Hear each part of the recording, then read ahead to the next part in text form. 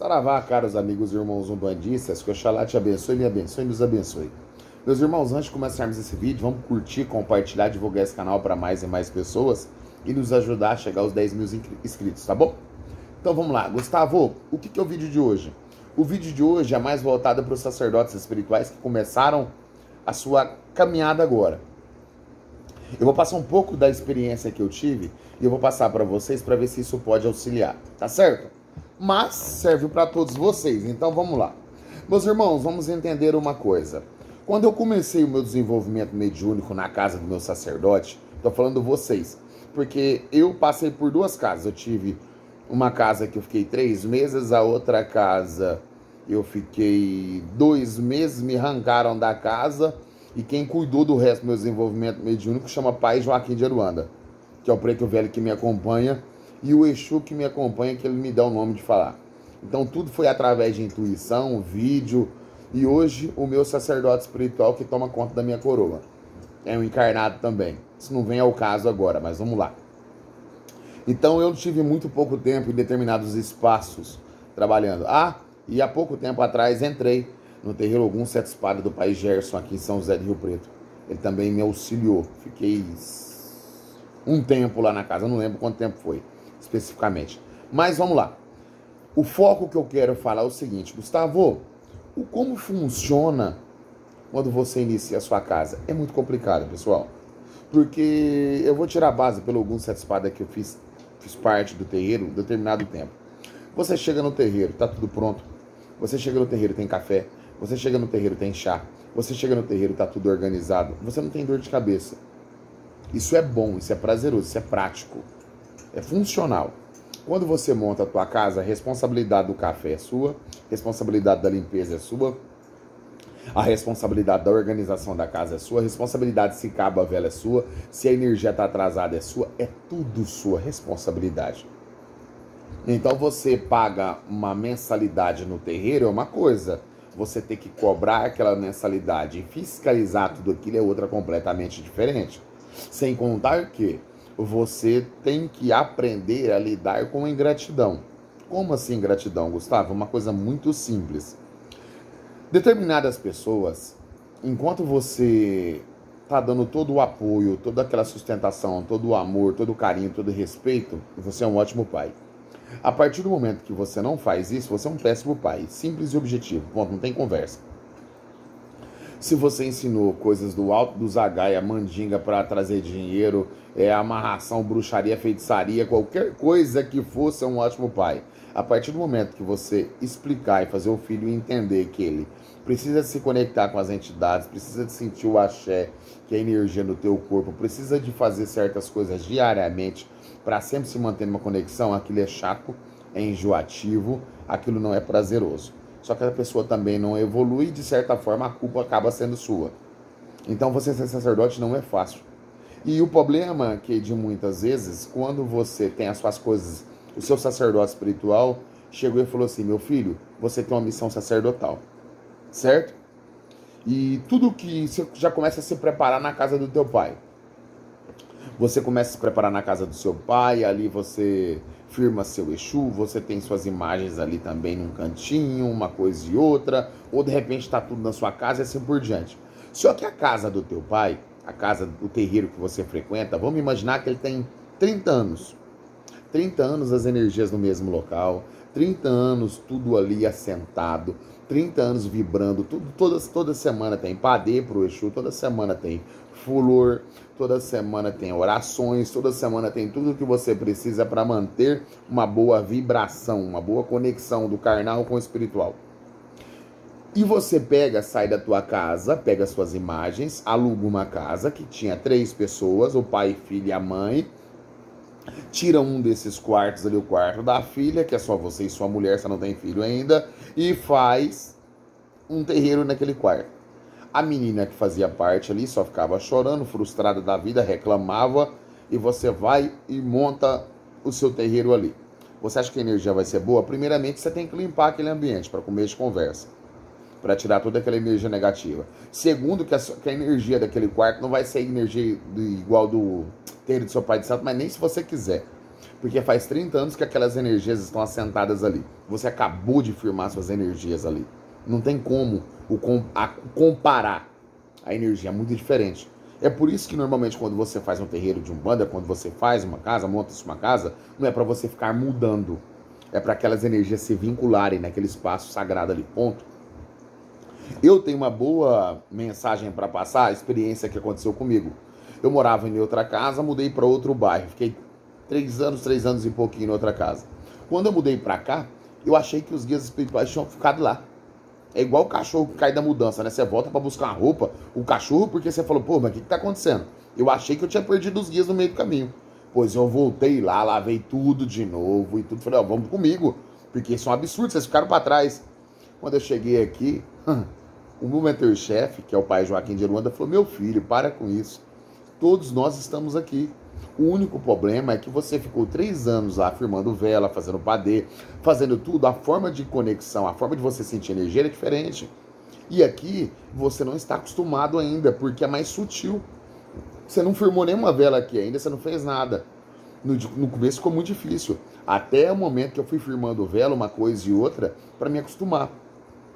E quando o sacerdote espiritual, que é um médio de corrente ainda, ele está numa casa, ele só tem a responsabilidade de, uma coisa muito simples, pagar sua mensalidade, 50, 70, 80, sei lá, 100 reais. A partir do momento que você monta a sua casa, são diversas responsabilidades que você não sabia que existia. Você tem que pagar energia, você tem que pagar água, você tem que pagar luz. Você não pode confiar em todos os filhos, são dois ou três filhos, quando tem dois ou três para te auxiliar. Se vencer o aluguel é responsabilidade sua, se um filho tiver mal, é responsabilidade sua. Se acontecer qualquer coisa com qualquer consulente que está ali, é responsabilidade sua. Então, além da maturidade é, espiritual, você tem que ter uma maturidade carnal para aprender a compreender e assimilar determinados problemas e frustrações que você não era acostumado. É muito simples, é muito difícil você ser um sacerdote espiritual. O fácil é você estar tá ali na corrente pagando sua mensalidade mensal. O difícil é você ficar acordando três horas da manhã, porque lembra de uma coisa, sacerdotes? Meus irmãos, você falar que é um sacerdote é fácil. Você ser um sacerdote que é o difícil. Se seu filho te ligar meia-noite, pai, eu não tô bem, você vai ter que dar atenção. Vai mandar ele no médico, sabendo que é um assunto espiritual? Você vai lá firmar a vela, pegar um cachimbinho, um charuto, firmar a vela para você deixar de frente para o seu guia-chefe, para o Exu, pedir para ir defumar a casa da pessoa, mentalizar a pessoa, fazer uma coisa e outra. Mas eu não vou fazer isso, então você não está pronto para ser sacerdote. Pega, fecha seu terreiro agora. Pai é pai, não, não tem condição de fazer isso, você não é pai, vaza. Para mim não tem conversa, não. Ou você é, ou você não é. Ser sacerdote espiritual é cuidar dos seus filhos o cuidar dos seus filhos, não interessa se é meia-noite, se é três horas da manhã, você tá ali, você vai ter que cuidar. Ou explique os seus filhos a se cuidarem. Não tem meio termo. Certo é certo, errado é errado. É justamente por isso que você é um pastor. Para você pastorear, para você guiar aquelas ovelhas. E as suas ovelhas são seus filhos de fé. Agora, existem casos e casos. Se você deixa seus filhos de fé te ligar por causa de uma dor de barriga, te ligar porque a unha dele encravou, ou porque ele deu um bicudo no chão e ele fala que é macumba, é falta de conhecimento. Se ele não tem conhecimento, a culpa é tua também. Conheças a verdade, a verdade vai te libertar. A verdade nada mais é do que conhecimento. Ponto. Não tem meio termo. Se seus filhos não estão aprendendo nada, a culpa é tua. A culpa é minha? É claro. Eles estão na sua casa, responsável por passar conhecimento é você. Se eles não estão aprendendo, a responsabilidade é sua. Se os filhos chegar aqui no terreiro sem sala de preto e velho não aprender nada, a responsabilidade é minha. Ah, mas como assim é sua? É muito simples. Qualquer macumba, qualquer feitiço, qualquer magia que for chegar nos filhos de um sacerdote espiritual, não vai chegar no filho primeiro. A primeira burdoada é no Pai de Santo. Vocês estão achando que a primeira burdoada chega no, no, no filho? De forma alguma. Quem vai ficar com o peitão aberto ali para tomar a primeira cacetada é o sacerdote. Se você não aprende seu filho, não ensina seu filho a se defender de certas energias negativas, você vai ser cobrado por aquilo mesmo. Você querendo ou não, não tem meio termo, não tem conversa. Certo é certo, errado é errado. Entrou os filhos, mas os filhos não querem aprender, manda embora. Pede para sair da casa. Porque você vai ter responsabilidade com aqueles filhos. Ou chega e conversa, fala, a partir de hoje o negócio é o seguinte, não tem incorporação, não tem nada, tem aprendizado. A partir do momento que vocês estiverem mais disciplinados, as coisas mudam. Existem filhos que só vão no, no terreiro o dia de, de Exu e de Pombogira. Isso existe. Então, sacerdote espiritual, que seus filhos aprendem a responsabilidade sua. Se seus filhos passarem mal no quesito energético, energia é responsabilidade sua. Carnal é carnal, espiritual é espiritual. Falou de espiritual, quem está cuidando do, da espiritualidade do seu filho é o sacerdote espiritual. Toda ação toma reação. Você tem que estar tá aberto para conversar com seus filhos. Aberto. E se por um acaso precisar de visitar os seus filhos, você visita. E uma coisa eu falo, para que serve a mensalidade do terreiro? A mensalidade do terreiro, e muitas vezes serve para isso. Eu preciso ir na casa do meu filho, eu preciso fazer uma coisa e outra, não é só para comprar vela, não. E se eu preciso ir na casa do meu filho, eu não tenho dinheiro do combustível. Eu vou usar, daqui, vou usar da mensalidade. Eu estou utilizando para lidar com o plano espiritual. Por que não? Eu não estou entendendo agora. É justamente para isso. É justamente para isso. Se as pessoas vão no seu terreiro, uma coisa e outra, é justamente esse dinheiro para isso também. Além de comprar vela, bebida e comprar tudo. Se você precisa ir no seu filho, se você precisa resolver uma situação relacionada com terreiro, você pode fazer isso. E todos os sacerdotes espirituais aprendam uma coisa, meus irmãos. Aprendam a lidar com ingratidão.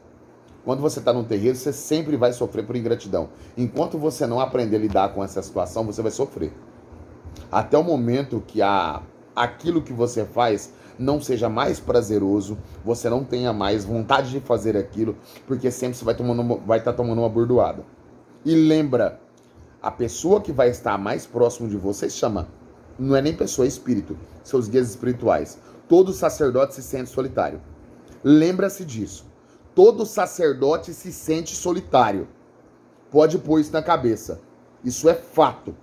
Pelo menos com as pessoas que eu já é, trabalhei. E outra coisa, não fica querendo agradar filho.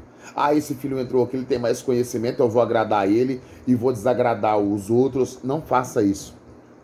Por quê? Porque quando você começa a agradar o bonitão ali, que ele acha que ele é o rei da batata chita, o rei da bala chita, você desagrada as outras pessoas. Você vai ficar com um só.